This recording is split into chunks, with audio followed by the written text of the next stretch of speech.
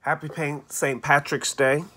Um, I just wanted to give you a couple things that you could do on your own. You can do this with, with an app. You can do it with um, your instrument and different things. This is um, the GarageBand app on your on any device. Most of you have it on your phones. It probably came, if you have an Apple phone, it, it came with it automatically. If you don't have an Apple phone, I mean, really, get with it. Um, so what we have here is a couple different things that you can do. Uh, you can create your own songs with all these different instruments. You can use uh, drums, you can use uh, keyboards, you can use lots of different things. So let me just show you uh, really quickly some things that you can do as you're sitting at home by yourself um, where you can actually create uh, layers through this if, if you've never used this app before.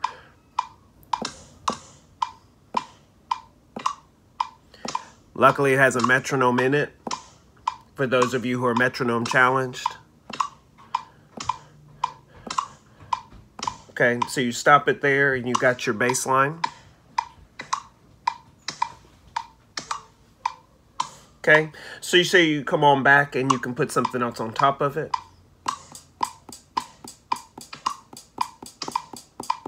Obviously, I need to work with the metronome myself. Okay. Um, come back and put something else on top.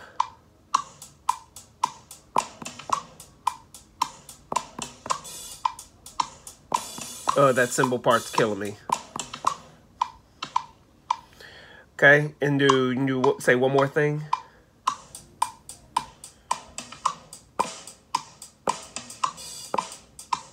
Okay, getting a little disjointed. It's already getting on my nerves. But, you know, you can create your own things. You come up, if you see this little icon up here, okay, you click on that little icon and it'll show you kind of your parts. You can add other things to it. Okay, it comes back here. You can put keyboards on top of it. You can put voice on top of it and things like that. Uh, so something just for fun. Um, this was something I did just a minute ago. So I did, here's what I did is I went into this part right here and I kept clicking this and made multiple voice parts. Okay, so this just just me playing around. All my voice, so just just kind of putting some stuff on top of other things, just kind of having fun. Um, okay if you're very narcissistic like I am and you only want to to hear your voice so you can do you can do all those parts by yourself. Uh, what I haven't tried to do yet what you can try to do is you can take your instrument.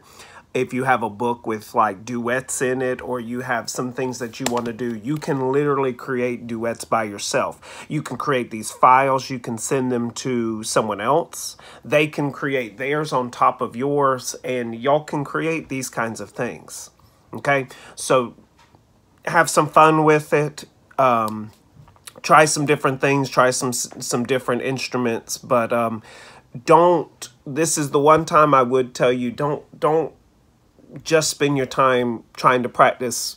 You know, uh, stuff out of a method book. Don't don't spend this time trying to just play uh, etudes out of a flute book Okay, try to do some other things. Try to to create your own stuff. That you, this is the time we have. If you have any questions, you can ask, um, and you can try to figure this stuff out for for your own. But I'm gonna post this so so you can get an idea. Make sure that you are uh, getting on this YouTube channel because I'm gonna do more things through this. Okay, so subscribe to the YouTube channel, and we'll make sure that we get all of our sponsors in. Thanks.